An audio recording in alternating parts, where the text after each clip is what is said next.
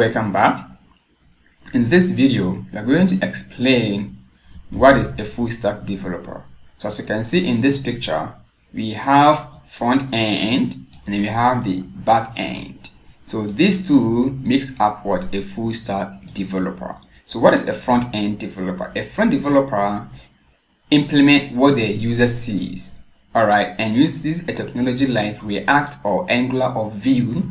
And for back-end guy or a back-end developer implement the actual business logic right? Authentication deleting implementing all the apis and for the backend, we use a technology like js java or or python. And for database we have what is called mongodb or mysql okay cool. So if you know these two, then you call yourself as what? A full stack developer. That is what we are because you're going to create ex an expenses application using these two technologies. Right. Okay, now that you know, next thing is let's see the pattern or the design pattern we are going to use in our project. And you'll be hearing the word MVC if you haven't. So you're going to implement, uh, use a design pattern called MVC in our project. That is why we have created these structures. So let me close this ones. So we did this one in the previous video. So let me close this one for now. Here, as you can see, inside the server, we have these folders. Sorry, not node. We have the controllers, model, and route. So this folder tells you that you're using an, an MVC. But before that, let's learn what MVC is all about, right? So MVC, M stand for model, right? I'll, I'll talk about model and view, V stand for view, and then C stand for controller. So let's take them one by one. All right. So here we have what is called data modeling. I will come back to the but before that, let me explain to you what is model first before we come back to that. Alright, so model is an object, right? Of, of an ob it's an object of which we want to create, right? So in our project, you can see that we have three model.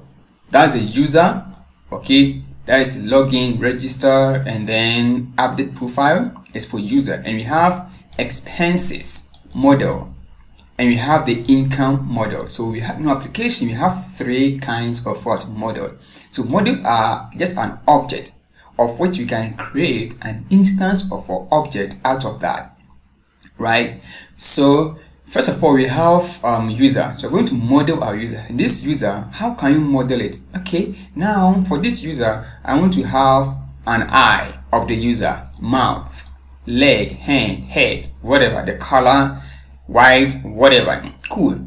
So before you start coding, the most important thing is know how you're going to model your data. The things you need first before you start coding. So now you know how our model is. It is. Next is how can we create an instance of this model? Right, that's what is called a schema. Right, but before that, let's go ahead and explain what is a controller. A controller contains the business logic of your application right? It contains the business logic of your application. So for example, if we are not logging, we cannot create an account. So if you look at our final project, where is it? This one, this one. When, if I don't log out and I'm trying to create a new income, you see that it asks me to log in. That is the controller, right? That is controller is working now. But as soon as I log in with the right email, like that and my password is like this. When I log in you see that I have loading. This all the business logic right? When the user is not logging display some loading. And this is what is called the business logic of the application right? Cool. As soon as I finish logging see that I have expenses. This one model. Income one model right? Cool. So how we can model our data is called modeling, right? So now that we understand where is my slide controller, that's how controller works. And now let's look at how this this works together, right? So like I said, we have our model. This where our database lies how we can create an instance of our models for example we have users and for this user model we can create as many as users that we want. And for expenses we can create as many expenses as you want. That's what we call the model right? So that's where your data logic lies. And it comes to the uh, controller is what? Your business logic right? And the view is what the user sees. So let's see how these things talk together. Always controller talks to the model right? Because it will take the database and do some logic and give it to the view what you see. For example the model says that unless you provide the right credentials before you log in. So that's our schema right?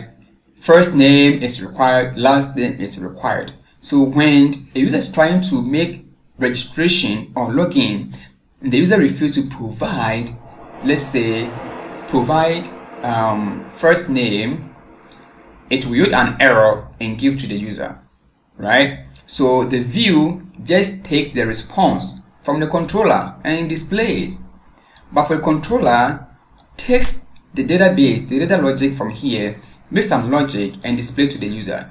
So always model and controller talks back to back but model cannot talk directly to the view unless controller give response to so always controller give response whether success or or failure. All right so now that you understand how this this works in next video we are going to start creating our first model